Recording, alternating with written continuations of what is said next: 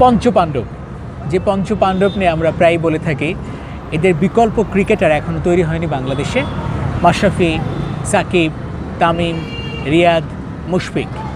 পাঁচজনই বাংলাদেশের ক্রিকেটের পিলার এবং তারা হচ্ছে দীর্ঘদিন ধরে খেলছেন। এদের বিকল্প ক্রিকেটার কেন? এদের পাশাপাশি বা এদের সমমানের বা কাছাকাছি ক্রিকেটারও এখনও পাইনি আমরা। যাদেরকে নিয়ে অনেক প্রত্যাশার ফুলঝুরি হয় তারা কয়েকদিন পরই হারিয়ে যায়। এটাই রিয়ালিটি এবং এই ক্রিকেটারকে নিয়েই বাংলাদেশ ক্রিকেট দলের একটা হিপোক্রেসি আছে।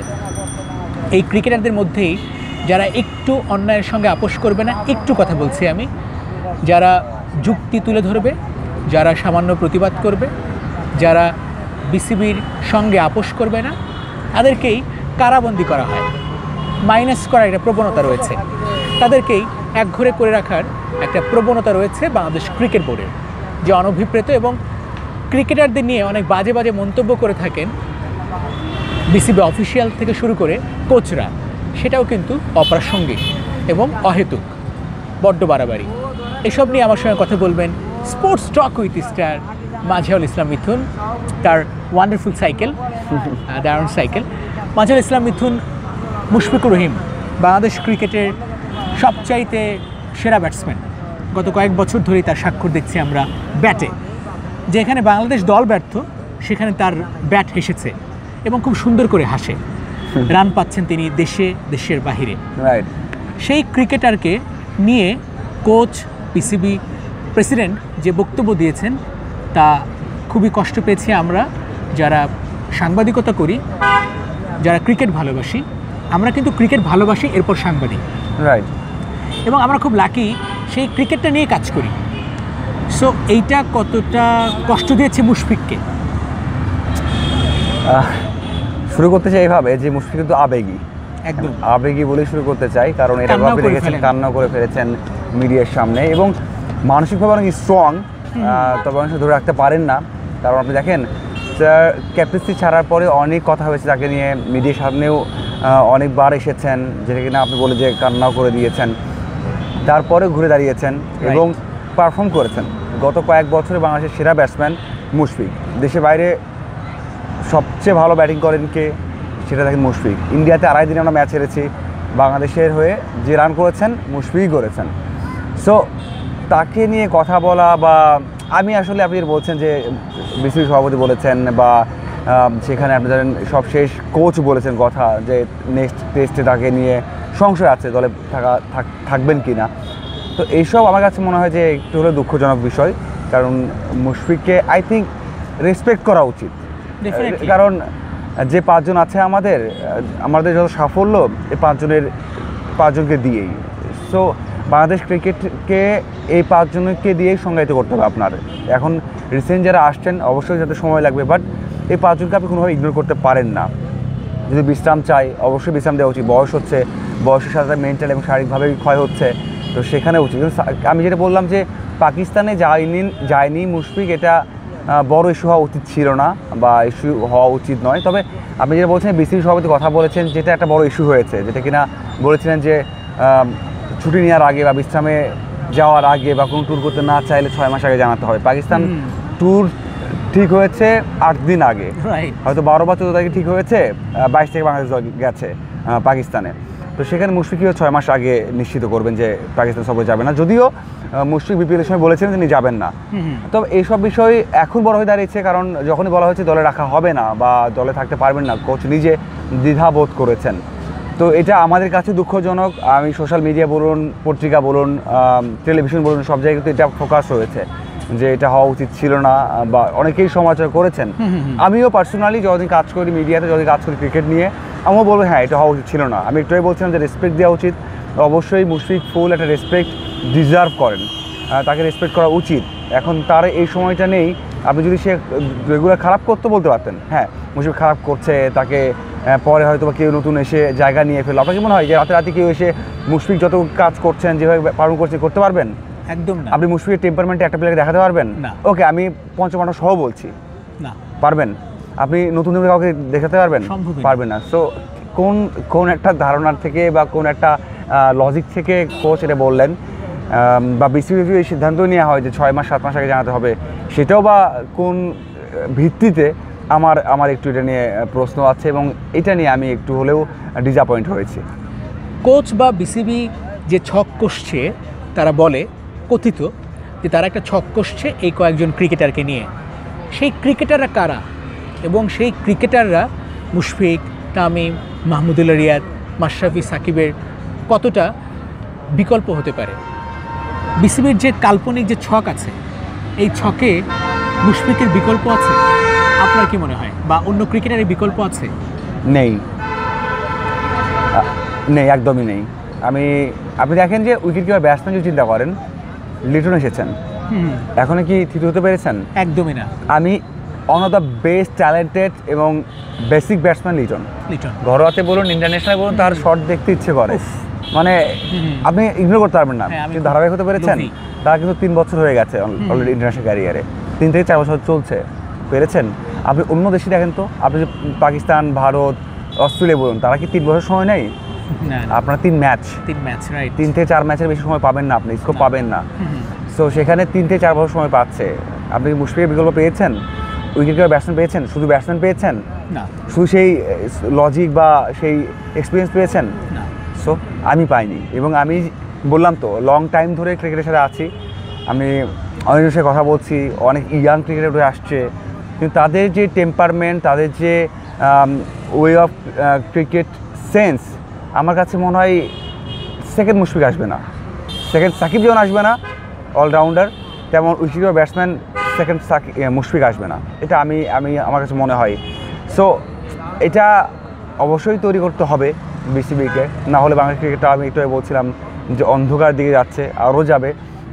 এবং অবশ্যই যারা তিন থেকে চার বছর খেলছে, তাদেরকে বোঝা উচিত যে আমরা এখন নতুন নেই, তরুণ নেই, আমাদের ওপর পঞ্চপাণ্ডব নেই, তাদেরকেই দায়িত্ব নিতে হবে। ক্রিকেটে যারা সাকিব একটা কথা বলতেন সবসময় যে যারা যে ডেবিউ করছে ফার্স্ট ম্যাচ খেলছে আর যে দুশো ম্যাচ খেলেছে দুজনে সেম একই ইলেভেনে খেলছে একই দলের বিপক্ষে খেলছে তাদের রোলটাও একই।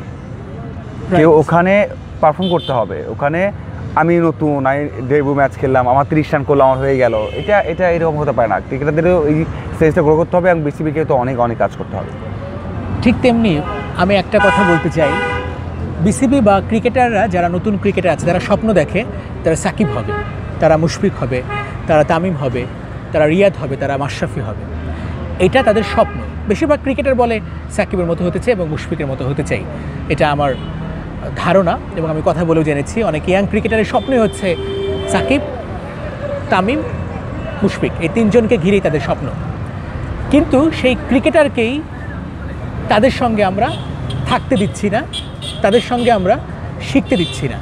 এবং কত পরিতাপের বিষয়, সাকিব হতে চায় একজন, সেই সাকিবকে আমরা শেষ করার চেষ্টা করছি।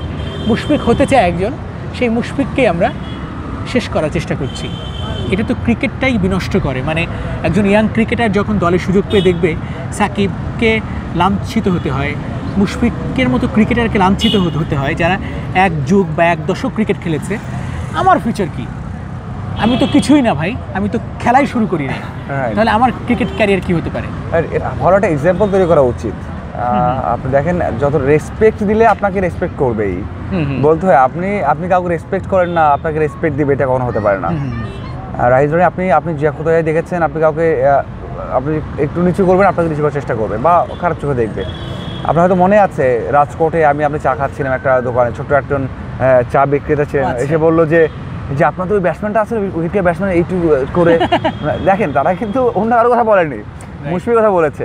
যে সাকিব নেই তার খবর কি? আপনাদের সেরা ব্যাটসম্যান সে বলেছে। সো সব জায়গাতেই জানে মুশফিক কেমন ব্যাটসম্যান সো এদেরকে আপনার রেসপেক্ট করতে হবে। যারা কিনা দীর্ঘ সময় আপনার সার্ভিস দিয়ে যাচ্ছে দেশকে সার্ভ করে যাচ্ছে। না করলে যারা ইয়াং আছে তাদের কাছে এক্সাম্পলটা হবে না। আমি এটা বলব না যে বিসিবি একেবারে শেষ করছে। হয়তো বা রিসেন্ট ইস্যু যেভাবে আসছে এবং সাথে আপনি যে বলছেন এটা আসা উচিত না। উচিত না। এটা একটু আসা উচিত না এবং এভাবে আমি বললাম যেটা বললাম যে ছয় মাস আগে জানানো উচিত বা মুশফিককে নিয়ে দ্বিধায় আছি যে নেক্সট টেস্টে থাকবেন কি না এইসব কোনোভাবেই আসা উচিত না। হয়তো বা এটা এমন হতে পারতো যে মুশফিকের সাথে বসে আলাদাভাবে বসে কথা বলতে পারতো দেখো মুশফিক নতুনটা অনেকে এসেছে যে টিম নিয়ে আমরা গিয়েছি তুমি এটা কাজ করো তুমি না হয় ন্যাশনাল লিগে খেলো বা বিসিএল খেলো আমরা একটু ওকে দিয়ে একবার চেষ্টা করি। তুমি একটু আমাকে বলো যে এটা খারাপ হয় কিনা। তখন একটা সেটেলমেন্টে আসা যেত হয়তো বা মুশফিক বলতো যে ওকে ঠিক আছে আপনারা এটা করুন।